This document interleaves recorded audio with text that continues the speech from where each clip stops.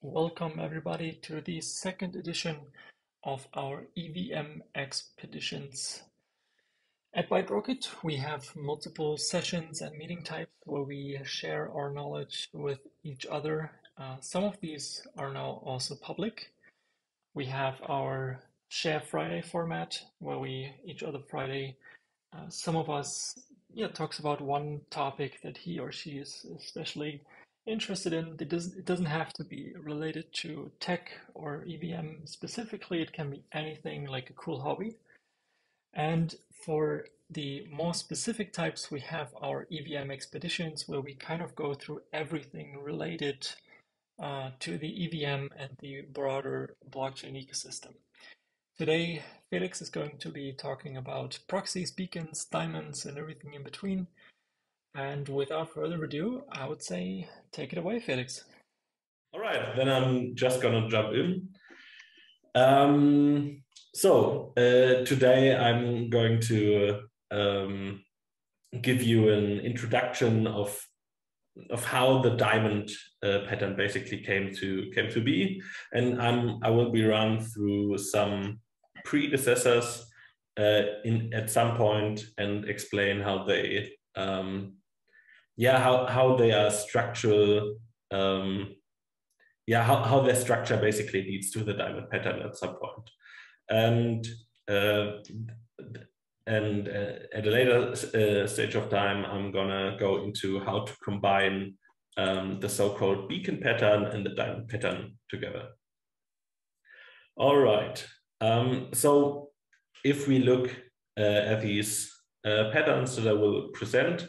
All of them have um, a few things in common, and the main um, the main point here is the combination of the so-called so-called delegate call and the fallback function. The delegate call is basically you take your like if a contract uses delegate call to call another contract, um, it instead of using the state of the called contract, it uses its own state. So there are some um, some implications that can uh, are happening here that I will go over um, with the with the other uh, patterns here. The the other main function that is used is the fallback function. So if a contract, like if I want to call a contract as a user, and the the contract doesn't fulfill the function that I called uh, in this contract, um, it basically falls back to this fallback function. So everything gets uh, run through here. If there's no implementation happening, it um, it should just revert, um, ideally. Um, okay, so let's go through the different patterns um, to see what, what I mean by um, all of them use delegate call and the fallback function. So all of these, these patterns have different problems that, that they try to tackle, and I'm going to run through them um, and explain how they try to answer them. So for the first one is the main problem, um, how to repeatedly deploy the same contract with minimum gas costs. I mean, the, this is a pretty common problem. Um, we have basically, we have an implementation um, that we want to duplicate at some point for, for different users. And it would make sense to reduce the gas cost of the implementation itself. So um, in a normal uh, deployment, you would basically say, okay, I have my implementation here. I'm converting it um, into bytecode, and then I'm going to push it to the um, to the uh, blockchain. The, the problem here is if my implementation is pretty big, um, that's going to cost a lot of gas. So instead of you sending the bytecode for, for the specific contract over and over again, I create a minimal contract that just references this real implementation and redirects calls via delegate call to it. So it's basically a user calls, um, then the, the so-called proxy uh, uses the fallback function and delegate calls into the function of the boilerplate. Um, right? There's also an ERC standard to it, ERC 1167. Uh, um, that one is is uh, optimized to to use as like the the bytecode is optimized to to use as uh, less as possible. Like you don't, it's it's really minimized. If I, if I click into it, you basically just upload this bytecode with a few extras, and that's the whole whole contract that you create as a minimal proxy. All right, uh, now let's jump to the next problem. How can I upgrade my contract without changing state? So um, what, another big problem that we have on the on the blockchain or problem feature, uh, um, yeah, if you look at from different points, it it has different advantages or disadvantages. But contracts that we upload to the um, to the blockchain itself themselves are immutable, so we can't change them. But what happens if, for example, I upload a contract and discover it, there's a bug hidden in it. Um, the bug could be exploited, and the um, like the funds I, I have in the in the contract could be at risk. So um, there there's a fundamental um, like I want to to make sure that my my contracts are uh, safe for the future, and so there should be a possibility to upgrade them. Um, so how can I do this um, without changing the state? So I have funds already in the contract locked, and I still want to up, update the implementation. Um, the solution would be here to separate the state from the implementation from each other. And how do you do that? Uh, I mean, you can guess it. I, I pointed it out before. You basically create a fallback function that delegate calls into the next contract. Um, yeah, so the proxy contract itself basically has the state of um, that you want and just delegates call to redirect to the correct implementation. Um, we could change, like if we want to upgrade the contract, we, we just say, okay, you now point to the um, upgraded implementation. Um, it's pretty similar to the to the minimal proxy, um, but it it's not hard coded uh, which implementation uh, where, where the implementation basically is. So the structure would look like the user calls, we fall into the fallback function in the proxy, and we internally ask for the implementation address. And then it goes uh, via delegate call to the correct implementation. If you want to update the implementation, we just say, okay, we're going to call the function for it, and it updates the implementation address. All right, to the next problem. Um, let's imagine we have a rollout of contracts that we copied via the minimal proxy factory, um, and we discover, oh fuck, there's uh, there's a bug in the code. Um, so they, they might be thinking like, okay, um, maybe I can upgrade uh, these contracts single at a time, but not all of them at once. And that is also a problem. Um, and that's where uh, this, this question comes, how can I upgrade a lot of contracts at the same time?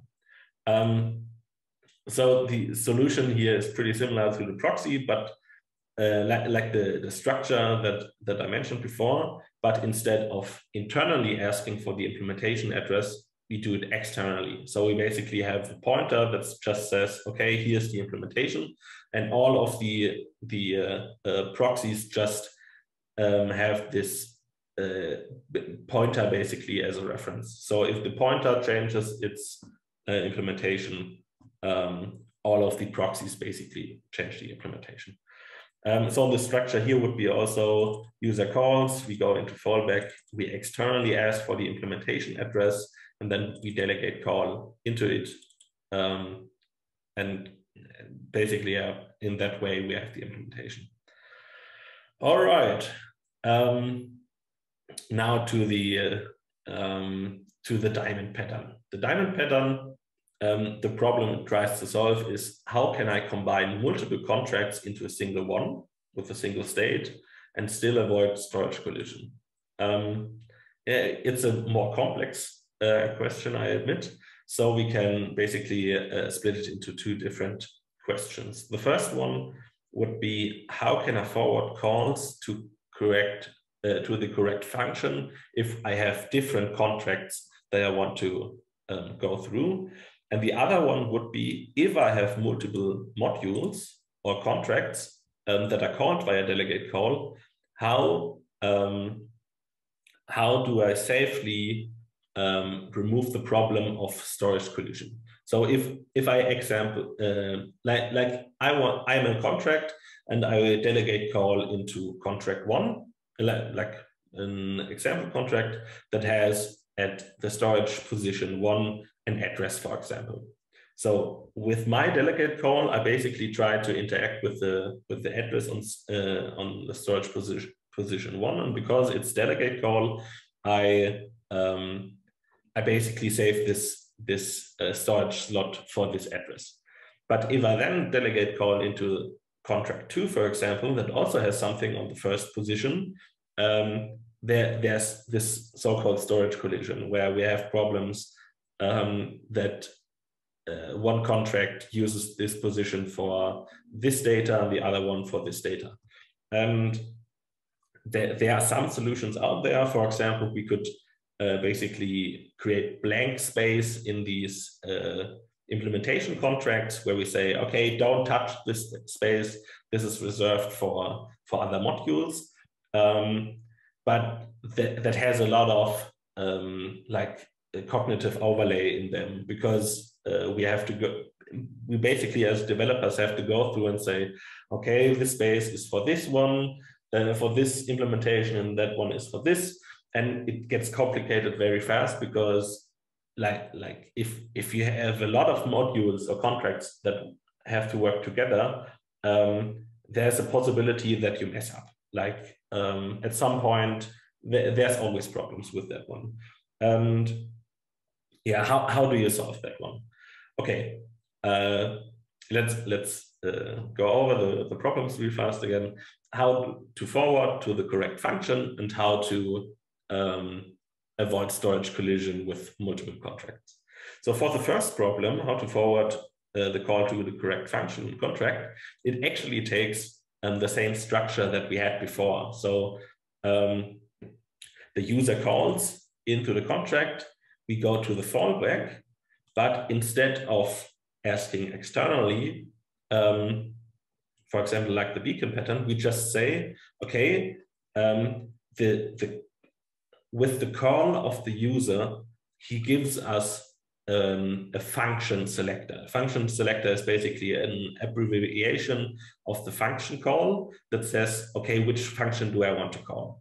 And um, with that's just four bytes. And we could basically say, okay, if this function is called, we're gonna um, forward it to this contract. So we have contract one and contract two, everything from uh, like every function in contract one goes to contract one, and every function in contract two goes to contract two. Um, so we basically just create a mapping basically um, that allows us to forward to the correct position. So, so the structure would look like this. Uh, the user calls, um, we go into the fallback uh, function of the diamond contract, and we say, okay, he wants to call this function. So we convert it to the function selector and we have a map mapping from selector to the implementation address. And then we input it there, and then we have a delegate call to the correct function at the correct position. So it's it's pretty similar to the to the other structures, but uh, we basically do it via mapping. Um, that, that means um, we have to uh, basically include all of the function selectors of the included um, functions from the other contracts, but I mean that's doable, right? It's it's not as automatic as as the beacon or the proxy, but it's still comparably easy, I would say.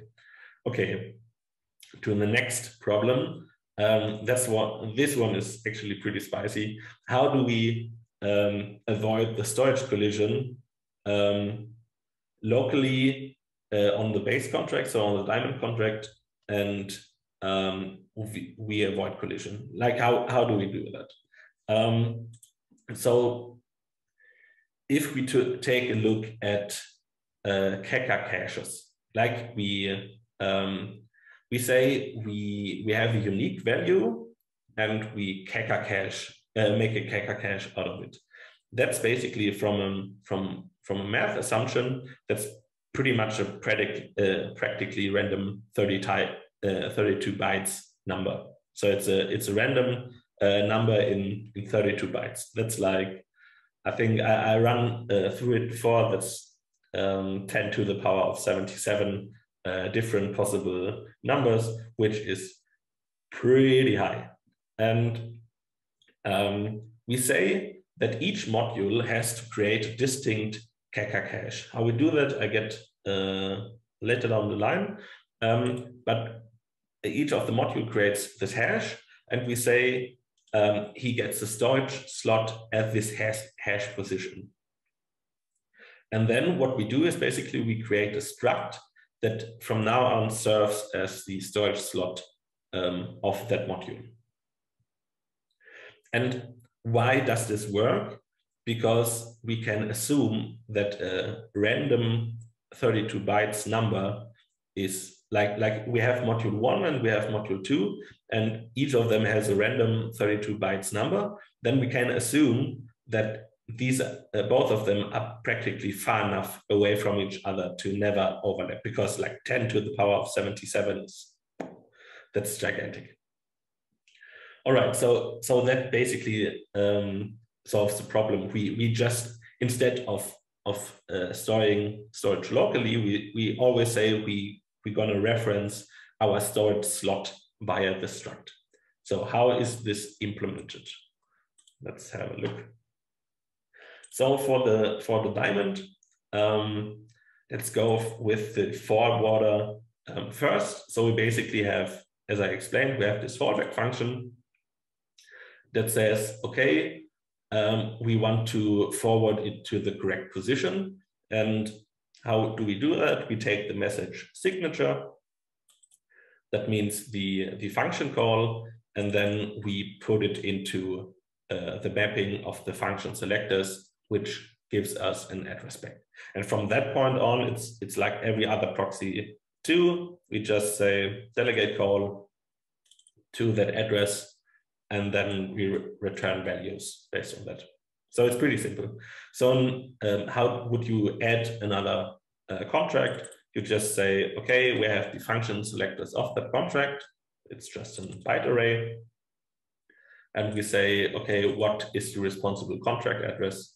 and that would be like, and then we just put it into the mapping. It's pretty simple actually. So,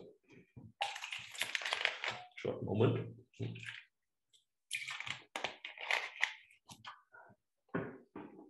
All right. So now to the spicy um, structural part. Uh, let's go to that one. So um, what I did here is basically as a uh, I created a module for the for the diamond, right? As I explained, um, the storage is now a struct, basically. So we have this struct called state. I mean, I just called it that way. Um, and what we do is we say this state um, always is accessed via this access state function. And um, how do we get the position of the of the struct? We use the slot function. It's it's in in here, um, and the slot itself is just a Keccak hash of a unique identifier that um, basically each module has to implement. Um, in this case, we used uh, we said, okay, we have a major version here, and we have the unique um, string that each of the modules have, has to be distinct. In this case, it's it's a GitHub uh, link basically. Each of each of the GitHub links are unique. That means the Keccak hash itself should also be unique. And that's it. You basically um, always access the struct. If I want to change storage, I have to always go through this one.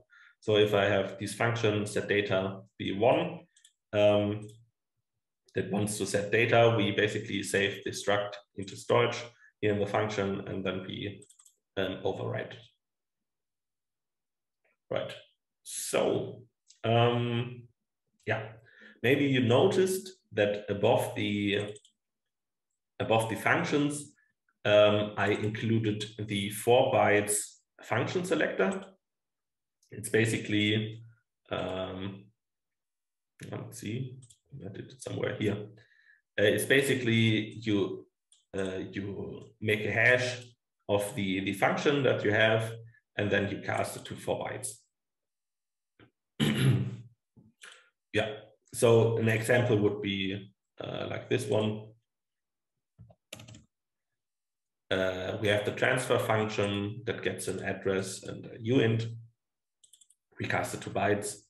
Then we uh, uh do a keccak uh, of that one, and then we cast it, cast it to bytes four. And then we can input it here. All right. Um, I think that's the main, um, like like what what the diamond pattern itself is is uh, or consists of. It's basically two these two problems that it tries to solve. Um, the first one uh, to to forward to the co correct contract, and the second one how to avoid storage collision. So in the next next section, I would go over um, how I uh, combine the diamond pattern with the beacon pattern. So um, um, okay, let's see. Um, so, so basically what it tries to achieve is how can we update a lot of diamonds at the same time or one of the implementations of the diamond uh, at the same time. Um, yeah, from if we if we take a look at the beacon and the diamond um, pattern, they they ha have a lot of uh, structural similar similarities, I would say. Um, both of them basically look up the implementation address and call into it via delegate call. So uh, I made this little meme here where where implementation. Um, it basically, if if we look into it into this little graphic, we have a call. It looks up the implementation and then it calls the implementation. Um, in this case, um, you may notice that uh, the beacon proxy as well as the diamond each have the, their individual storage. So if you want to combine the bo uh, both of them, um, the first assumption could be that we just link up the structure, right? So we, we basically say, okay, the diamond points to the proxy contract and then the proxy contract basically points to the implementation with the added beacon at the side. Um, that also was my first uh, thought process. The problem here is with, with the use of the delegate call function, we basically can't access the, um, the implementation of the beacon. Like if we if we deploy the beacon proxy, um, we would say in the constructor uh, constructor, okay, here's the beacon you want to uh, to see, and we would have to update it. Um, because all of the all of the calls from the diamond are via delegate call, right? Uh, the like uh, the storage of the beacon um, can't work with the storage of the diamond simultaneously. Um, so all of the st storage would have to be in the diamond pattern itself. Uh, but how do you do that? Like, um, how do you integrate the the beacon um, basically? So the solution here is is to see the beacon as an and an as an individual module basically that we also call um, via the the module functions. So we would um, if I jump into the example, we basically say, okay, we have the same structure as before, like we have the diamond, we have the module, um, but uh, for the beacon proxy, we say this is also a module. So we have the state where we say, okay, we have the beacon address um, that we want to point to, and we have this um, all of these access state functions that we needed before, identifier, all that stuff. And we have this fallback function, basically. Like that's the main point of the proxy, right? To to fall back and then we um, basically pointed to the correct um, to the correct implementation. And that what and, and that's basically what happens here. So um, instead of doing the implementation via storage directly in the proxy, we say, okay, you get it from from your state struct. Yeah. Um, maybe an interesting side note here, a problem that I found uh, was was challenging from a from a thought perspective was okay. So if if our original diamond contract calls into the beacon proxy that calls into the implementation, both of like uh, the diamond as well as the beacon proxy use their fallback function. But if I use delegate call, we basically always run from the state of the of the diamond, right? So later down the line, which fallback function do, do I really use? Like both of them um, use use their their fallback function, right? So the diamond would call by a delegate call into the beacon proxy, and the beacon proxy would use its fallback function to use the implementation. But because everything basically um, is settled in the in the diamond um, contract, and because it uses delegate call, does it call its uh, its own fallback function or does it call the beacon proxy fallback function? And I did some testing, and it actually um, uses the the fallback functions of the correct contracts that are used in this case because you you basically cast um, yourself to the to the contract that you want to use, and um, in if that contract uh, has a fallback function, you use that fallback function actually. Um, right. So for for if a user would have this chain, basically user, then diamond, then beacon proxy, then implementation, um, it would work uh, as the following. So if I call into the diamond, I would get the diamond function back. If I call into the beacon proxy, um, I use the diamond fallback and get into the beacon proxy function. And if I want to call into the implementation, I would call into the uh, diamond fallback, then into the beacon proxy fallback, and then into the implementation. Right. Um, yeah, and I think that's it. Um, it, it, took a lot of uh, experimentation to to get to this point because there were some uh, logical uh, structures that I had to run through. But I think all in all, it's pretty interesting just to to get this point of view into it. Um, yeah, I created a, a like I did the different implementations um, for the different use cases. So uh, I also have a beacon structure where you can just look into, and I wrote some tests to it. So um, maybe not interesting um, for the diamond. If I, if I went for an implementation, it would look something like this. Um, if you remember, we have to use the correct function selectors in here. So um, I basically created a, an array of the module that I wanted to use. For example, uh, if you rem remember set data v1 um, and get data v1 was the like the implementation of the uh, uh, of one of the implementation contracts that I used and I converted them to the correct function selectors and then added them as a module in here. So it's basically the same structure.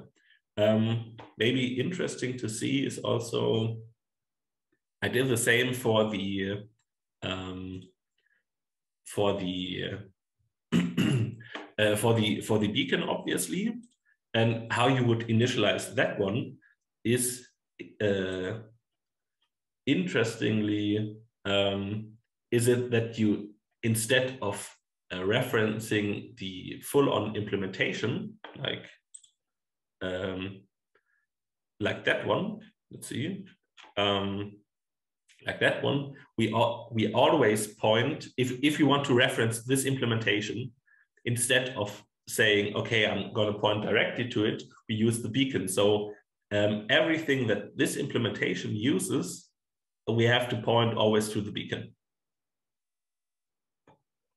Um, yeah, and also use an uh, ini, let's, let's see, um, initialize function basically to uh, make sure that the beacon proxy itself can uh, point to the correct address. Um, can I ask a question at this point? Yeah, sure. Uh, so you have this um, value over here, uh, is presenting like a hash, this hex uh, value which you have right now. That that one. Mm -hmm. This is like a hash of a of a contract, a function. Yeah, you could see it that way. It's the it's the function selector. So um, I have a link up here. Let me quickly run to it. Uh, da, da, da, yeah. Um, so it basically is um, Keccak hash of the of the byte version of uh, the function, like the, the string of the function, and you you take the first four bytes of that hash, and that's the uh, um, the function basically. Right, so, so, so I basically ran, man, I manually ran through all of the, the functions that I wanted to implement and uh, each encoded them individually to get this, this number uh, or this hash basically or these four bytes. And um, that's what I put into here. So this references set data v1 and this references get data v1. All right, yeah.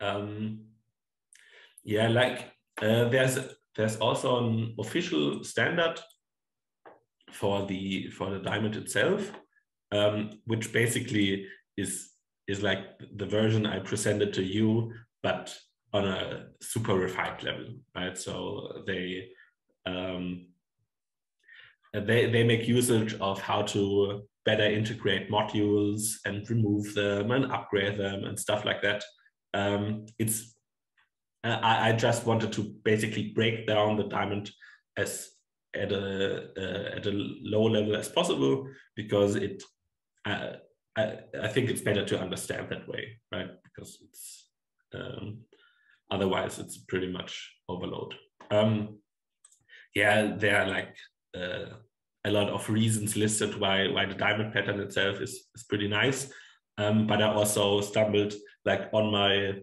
uh, way working through it. I also stumbled upon um, some some things that that have to be um, kept in mind for it to be, to be used. Yeah, like on the good side, um, you basically uh, solve the problem that a contract can maxim uh, at a maximum have 24 kilobytes of um, of size you can use multiple contracts at the same time. Um, all of them basically use the same address to, to do stuff. Um, you can organize your code very efficiently, I would say. Like that. It's it's a lot to, to take in. Um, but on the negative side, for example, uh, I, I, I, thought about ways that that I could break the system. If if I for, for example say I I have a module right that um, that somehow got into the diamond that I want to infiltrate. The thing is because my module represents basically the diamond itself because all of the diamond's functions are called by a delegate call right. So so if I say um, okay I now want to transfer all my funds to this malicious address, I can just do so because if the function of my module is ever called, um, there's no access control in regards of, of uh, token transfers, for example. Um, that's a that's a huge is issue. Um, or yeah, there, there, are a few few things that have to be kept in mind um, in in that regard. So it's it's ups and downs. Yeah. Okay, do, do you have any questions? Yeah, very good uh, comparison and an introduction into diamonds. What would you say from your point of view is the main main difference between beacons and diamonds, if, if there can be made a comparison? Mm, I mean, they, they try to solve different different problems mm. basically. So it's um, as as I pointed out, they they have a similar structure in some in some regards, but they they basically have different uh, they they are different solutions for different problems. So Yeah, makes sense. Yeah. All right.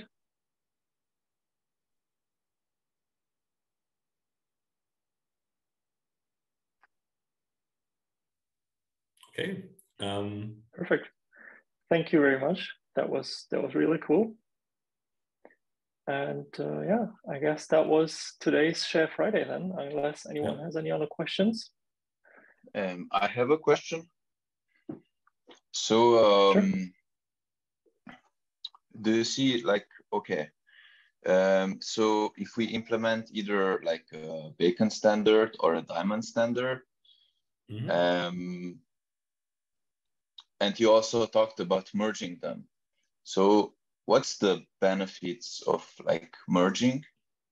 And also, like if we try using this in our implementation, do you see mm-hmm. any security concerns with with uh, using this pattern? Mm-hmm. Um, okay, to the first one, um, like like with, when I when when you combine both of them, um, they try to to solve their problems individually, but you combine basically. So so you could say, um, how can I combine multiple contracts into a single one and avoid storage collision and upgrade a lot of contracts, like a lot of modules at the same time? That's basically the um, like like what a combination of both of them wants to to uh, solve. So if if we think about it, um, it would mean we have a diamond structure um, that has a lot of modules. And because the diamond structure itself is is repeatedly like in effect is produced in a factory, right? So it it it's used in in a lot of different cases. Um, uh, that, then we discover a bug in one of the modules, and instead of like fixing one diamond at a time, we fix all of the diamonds at once. That's basically the use case here. Um, yeah. So on, on the other side, uh, security wise, I think um, it comes down to uh, um, who can create modules or not. Because um, if you, you basically, the moment the control flow goes into one of the modules, the module itself is the holder of the of the diamond address. And that that basically implies a lot of things, right? So so I could go and say, okay, I'm gonna now uh, I'm now gonna uh, send a message to to I don't know I don't know some some contract, and because I'm the I'm the diamond contract address, I could transfer all my funds to that to that one because uh, it's always delegate call into the modules, right? Um, so I think that's the main that's the main point that I found was um, yeah pretty challenging or should be kept an eye upon. So you have to trust and control the modules that are implemented, basically. Um, and maybe the possible solution would be to use the multi-sig as the owner address. Mm, no, that the, the problem arises with um, if you if you basically include a module, like you, you want to include functionality into it. Um, but you can't trust that functionality, then the whole system is corrupted basically already. Um, because if somebody wants to call this corrupted um, functionality uh, because it's part of the main contract, everything is fucked up basically.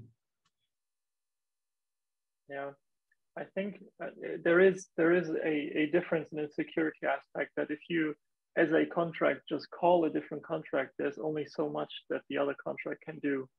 But if as a diamond you you uh, delegate call into a module, the module can can do with you your storage and your your funds in the main contract whatever it wants. So you really have to trust these.